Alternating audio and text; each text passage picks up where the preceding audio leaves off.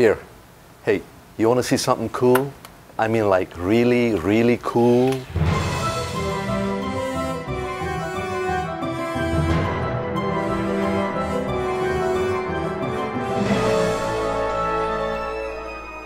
Welcome to Wizard101, an exciting new online game from KingsIsle Entertainment.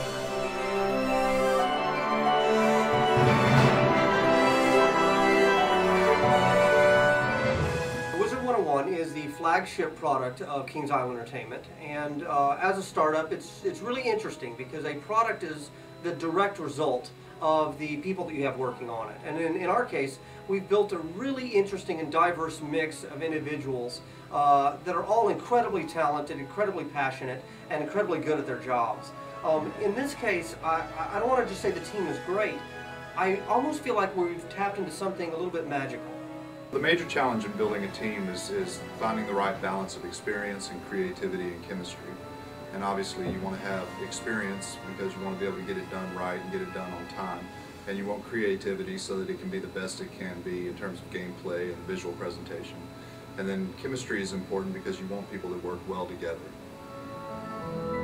The Wizard101 project was really appealing first and foremost for the people on it. Uh, it's really getting an opportunity to link up with a lot of old veterans, people who really know massively multiplayer games, and a lot of creative power. The vision of the game really is the second part of it that drew me drew me onto the project.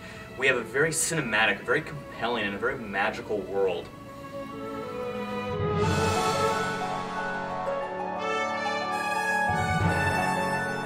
In the heart of Wizard City lies Ravenwood College, a collection of schoolhouses each dedicated to a different style of magic.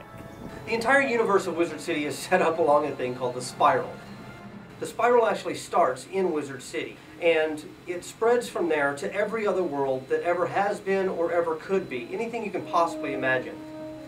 The forces of evil are pressing in on Wizard City and attempting to destroy it.